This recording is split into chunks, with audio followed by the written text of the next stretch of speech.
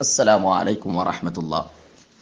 ഖബറിലുള്ള നബി സല്ലാഹു അലൈഹി വസ്ലമയോട് ഷഫാഅത്ത് ചോദിക്കാൻ പറ്റുമോ? അപ്രകാരം നാം ചെയ്യുന്ന കർമ്മങ്ങൾ നബിക്ക് കാണിക്കപ്പെടും എന്ന് പറയുന്ന ഹദീസിന്റെ നിജസ്ഥിതി എന്താണ്?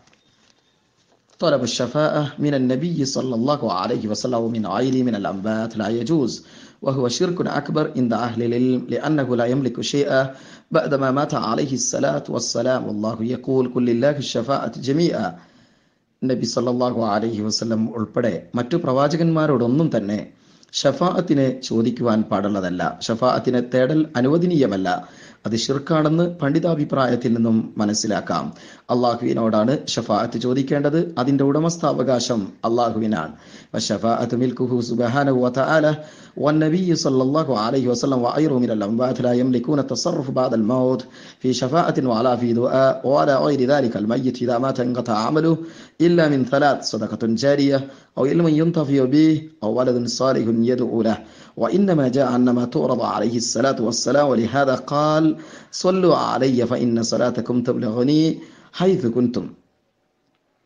മരിച്ച ആരോടും നമ്മൾ അവരുടെ പരിധിയിൽ പെടാത്ത കാര്യങ്ങൾ ഒരിക്കലും തന്നെ ചോദിക്കാൻ പാടുള്ളതല്ല ഇത്തരം കാര്യങ്ങൾ അള്ളാഹുവിനോടാണ് ചോദിക്കേണ്ടത് ഷഫാഅത്ത് ചോദിക്കേണ്ടതും പ്രാർത്ഥിക്കേണ്ടതും മറ്റു നമ്മുടെ ആവലാദികളും സങ്കടങ്ങളും ബോധിപ്പിക്കേണ്ടതും അള്ളാഹുവിനോടാണ് ഒരാൾ മരിച്ചു കഴിഞ്ഞാൽ മൂന്ന് കാര്യങ്ങൾ ഒഴികെ എല്ലാം മുറിഞ്ഞു പോകുന്നതാണ്.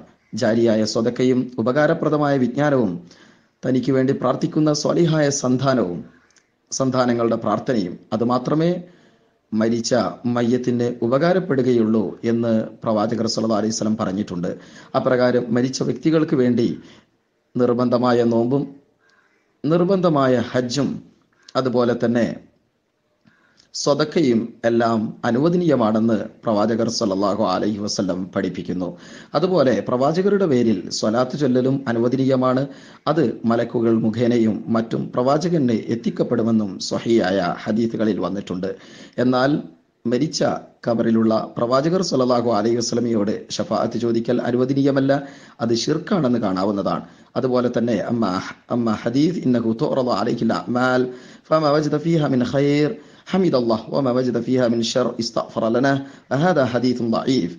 മരിച്ച പ്രവാചകർ സല്ലാഹു അലഹി വസ്ലമക്ക് നാം ചെയ്യുന്ന കർമ്മങ്ങളെല്ലാം വെളിപ്പെടുത്തപ്പെടും.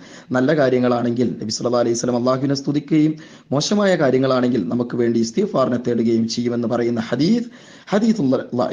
യസി അനിൻ നബി അലൈഹി വസല്ലം. അത് ദുർബലമായ ഹദീസാണ്. പ്രവാചകരിൽ നിന്ന് അങ്ങനെ ഒന്ന് സ്ഥിരപ്പെട്ടു വന്നിട്ടില്ല.